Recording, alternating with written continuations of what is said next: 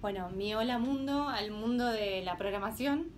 fue un examen para mi primer trabajo en tecnología. Yo estaba estudiando en la facultad y el examen que me tomaron a mí sola en un escritorio era hacer un programa escrito de pasar números a letras. Algo muy difícil, imaginen. Y ahí estuve escribiendo mi programita, pero claro, no es como la computadora, cada vez que borraba se me juntaba cositas de goma ahí en la mesa y cuando terminé mi programa que estaba divino tenía la mesa llena de cositas de goma así que tuve que juntar todo para que el que me viera a evaluar no viera todo lo que había borrado porque iba a pensar que era muy insegura. Este, pero bueno por suerte llegué a tiempo a juntar todo y finalmente quedé